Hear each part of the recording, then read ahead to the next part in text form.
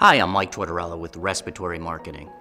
While the Real Inhalers campaign was designed to increase HCP awareness of patients' struggle with suboptimal peak inspiratory flow, or PIF, there's real world evidence further enhances that emotional connection with new, powerful data. Let's look at four key takeaways from various subgroup analyses. 1. 61% of PIF assessments from patients using low to medium high resistance inhalers showed suboptimal PIF on admissions to the hospital. 2. 37% of suboptimal PIF assessments were among patients with moderate COPD in a subgroup analysis of patients with spirometry data available. Third, 53% of PIF assessments from Diskus and Ellipta users showed suboptimal PIF.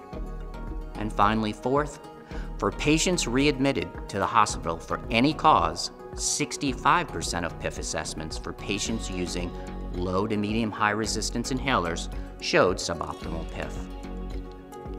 This data can bring the real inhaler story to life with real evidence from a large retrospective study. Let's look at how you can incorporate this exciting new data into your sales calls. Doctor, last time I was here, we discussed that there is a COPD paradox. Many patients with COPD cannot forcefully inhale because they live with damaged lungs. Yet, all dry powder inhalers, or DPIs, require patients to forcefully inhale to optimally activate. Over 1,100 patients with COPD were admitted to a hospital, and 835 patients met the inclusion criteria in the first large scale, real world retrospective study of PIF. 61% of PIF assessments in a subgroup analysis of patients using low to medium high resistance DPIs showed suboptimal PIF. It may be surprising to you, a share of suboptimal PIF assessments were found among patients with moderate COPD. In fact, over one third, or 37%, of suboptimal PIF assessments were among patients with moderate COPD in a subgroup analysis where data for spirometry was available. Doctor, you've shared with me in the past that Ellipta is your most commonly prescribed DPI. Is that correct? Yes, I don't hear any complaints when I prescribe a medication delivered via an Ellipta inhaler.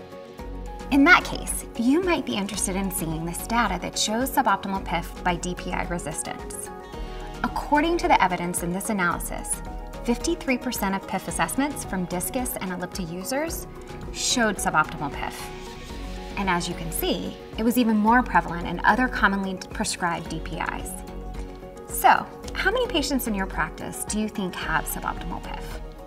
I'm not really sure. This is troubling, or something I really thought about when placing my patients on a DPI. Lastly, in a subgroup analysis of patients readmitted to the hospital for any reason, suboptimal PIF was found in 65% of assessments for patients using low to medium high resistance inhalers. How do you know your patients can optimally activate a DPI? You bring up a good point about some patients not being able to optimally activate a DPI. I'm not sure how I'd be able to know for certain. Doctor, please remember that a correlation between suboptimal PIF and clinical outcomes has not been established. If you have no additional questions about suboptimal PIF, I would love to shift gears and talk to you about Stiolto Respimat for your patients with COPD who are symptomatic and maintenance naive. Stiolto Respimat is a COPD treatment with inhalability. Inhalability is the ease with which actual patients can inhale their medicine. As you may know, GOLD continues to recommend the importance of inhaler choice when assessing your patient's treatment. So doctor, when you are treating a patient with COPD and they are ready for a maintenance medication, are you starting with inhalability in mind?